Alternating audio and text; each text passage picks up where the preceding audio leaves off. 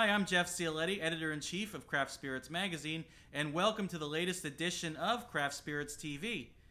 I just got back from Austin, Texas, which is home to some of the finest craft spirits producers in the country.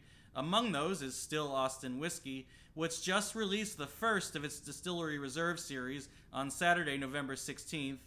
The production team took the contents of three of the best barrels of the distillery's high rye bourbon and finished it in sherry casks from Jerez, Spain.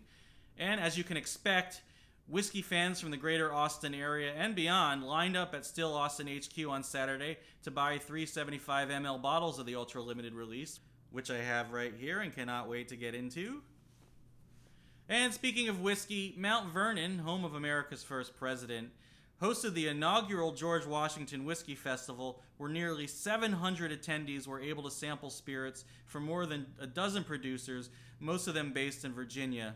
That, of course, included some tastes of George Washington rye whiskey produced in the Founding Fathers distillery right there on the Mount Vernon estate. Prior to the opening of the general session, a limited number of attendees got to mingle with some of the top names in the spirits world at a special VIP session. And on a sad note, the industry is mourning the loss of bartending pioneer and icon Gary Gaz Regan, who passed away last week. Regan was the author of the influential tomes The Bartender's Bible and The Joy of Mixology, and a universally loved figure within the cocktail world. He also had his own very popular line of cocktail bitters. We extend our deepest condolences to Gaz's wife, Amy, and to all his friends and family. Here's to you, Gaz.